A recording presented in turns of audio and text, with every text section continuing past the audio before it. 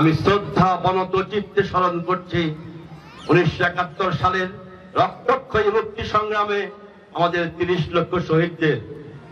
আমি গভীর শ্রদ্ধায় স্মরণ করছি আমাদের মুক্তিযুদ্ধে দুই লক্ষ বীরাঙ্গনাকে।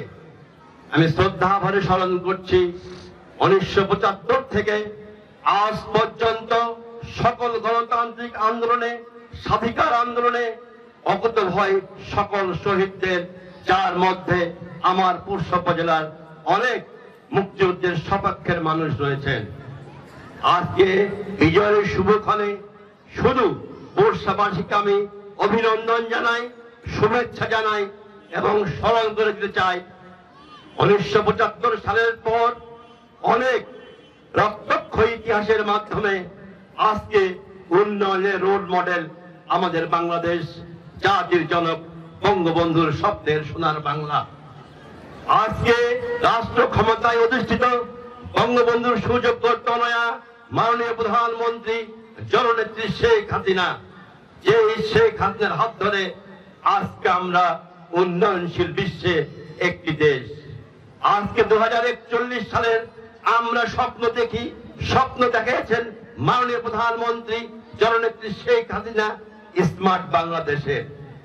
আজকে দু সালের বৈশ্বিক করোনা, তারপর রাশিয়া ইউক্রেন যুদ্ধের বৈশ্বিক মন্দার ফলেও আজকে আমরা মাথা উঁচু করে দাঁড়িয়ে আছি বিশ্ব মানচিত্রে।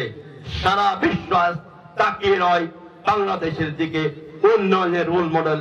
আজকে শেখ হাসিনার বাংলাদেশ, বঙ্গবন্ধুর বাংলাদেশ, বঙ্গবন্ধুর সোনার বাংলা।